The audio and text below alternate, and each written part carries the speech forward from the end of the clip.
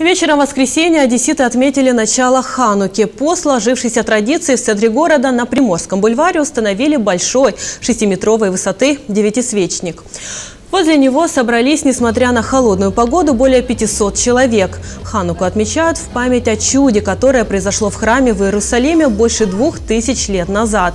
С тех пор Ханука считается важным праздником для иудеев.